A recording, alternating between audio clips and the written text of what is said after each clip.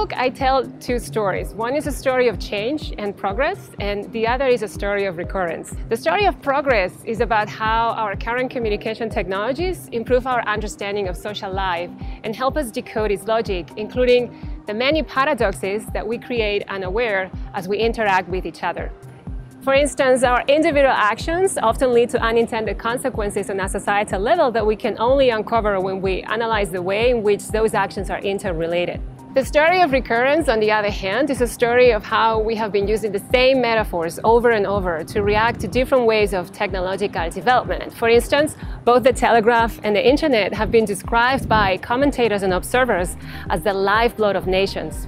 These two stories come together in the book. On the one hand, we continue to use those same metaphors. It's actually interesting to see how little they have changed over the years.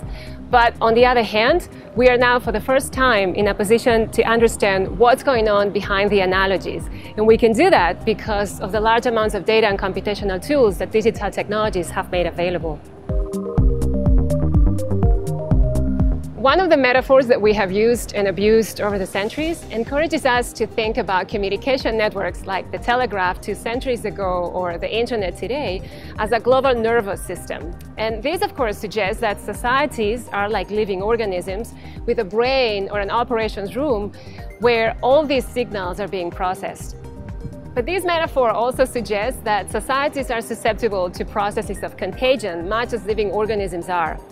When social scientists back in the 19th century first thought about phenomena like fads or riots or the spread of rumors, they usually employed this metaphor of contagion to get a sense of why things could diffuse or scale up so quickly. And yet, that's all they were. They were just metaphors or very impressionistic depictions of a reality that social scientists could observe but not decode. Today, we're much better at understanding how communication networks mediate those contagion processes. Networks are the reason why our actions are interrelated. And networks help us understand the chain reactions that result in, say, massive mobilizations or that turn unknown hashtags into trending topics in a matter of hours. Another prominent metaphor that I discuss in the book is this idea of an invisible hand aligning individual motives with collective outcomes that are beneficial for all involved, even when individuals are not necessarily pursuing those outcomes.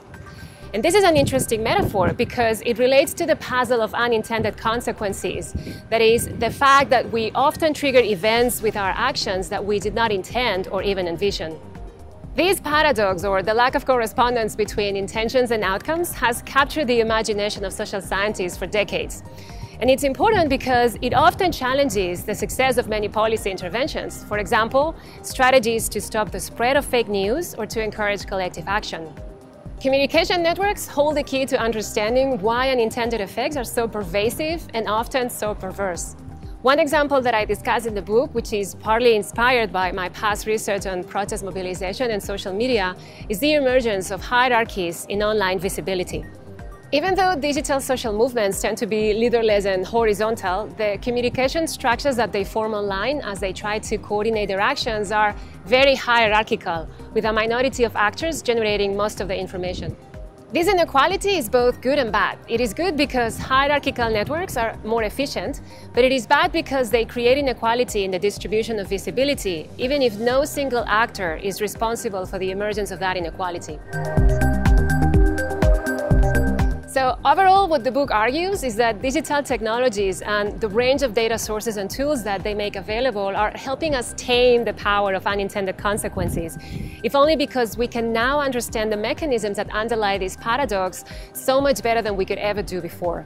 At the same time, it is also true that digital technologies are creating new challenges that have no clear precedent in previous technological revolutions. And the book also pays attention to those, hopefully triggering as many questions in the mind of the reader as it tries to answer, because in the end, we're just getting started in our attempts to decode social life through the lens of digital data.